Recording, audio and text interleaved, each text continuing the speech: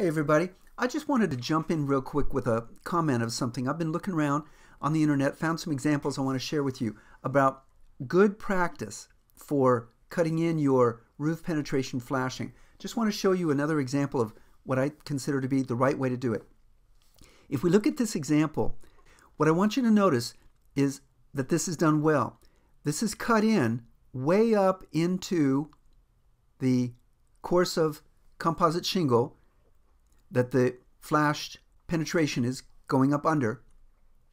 The idea is that the hole in the roof is right about here, right? It's right about there. And if you draw a line through that, you can see that that line is way above the line of the drip edge of the course of shingle. The idea being that as water falls down the roof, it goes down from one course of shingle down to the next, over the next, then over the flashing. You want that hole to be above the location of that drip edge. And they've done a very good job of cutting it in and putting it above that. Found another example here. Similar thing, again, this isn't solar, but it's showing the proper technique. Here again, you can see right about here is where that hole will actually be. And you can see if we draw a line through it, that whole line is nicely above this drip edge line. That's what you want. Now, they also have a couple points here. They've put in a couple of nails to secure down that flashing. I don't necessarily think that that's necessary.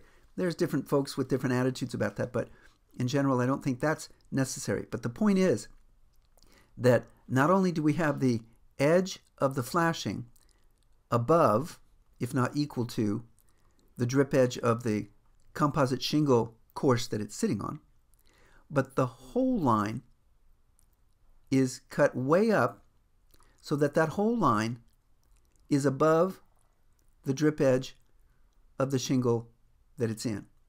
That's the proper technique. And just to finish with kind of a counterexample, I've used this picture in some other talks as well, but look over here at this roof penetration. Everything about this thing looks kind of okay, but actually it's not. These uh, conduit mounts you can see are just connected right down to the roofing without any flashing. But that's not my point. My point is let's take a look at this. Here's a flashing put in. It's got an OD flashing on it. But here's an example of not doing it right. Notice how it's not cut in at all.